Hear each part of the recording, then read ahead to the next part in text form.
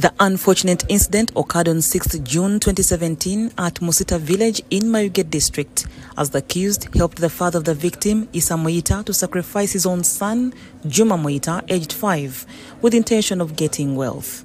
However, the father of the victim, Juma Moita, did not appear in court as he was earlier sentenced to 25 years in prison as he pleaded guilty earlier this year.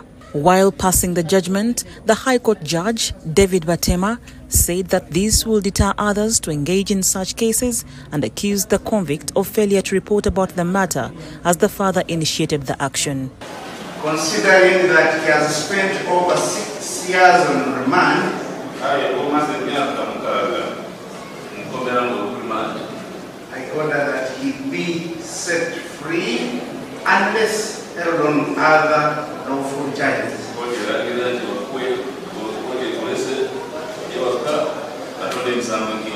After court, the spokesperson for the Office of the Director of Public Prosecutions, Jacqueline Okui, condemned the inhumane act. The effect of this judgment and sentence is that ritual sacrifice of human beings does not guarantee riches and wealth. It is clear that those who involve themselves in such practices shall end up in the criminal justice system.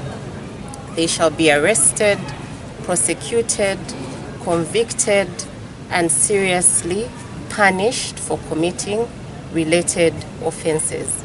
The Office of the DPP is determined to relentlessly prosecute those who involve themselves in human sacrifice to deter others from doing the same. Adrian Waswamgera, a child protection officer, welcomed the judgment and vowed to work with the Office of the DPP in dealing with such cases. and glad for this victory that we have reached on today, uh, where witch doctor has been sentenced to 52 years.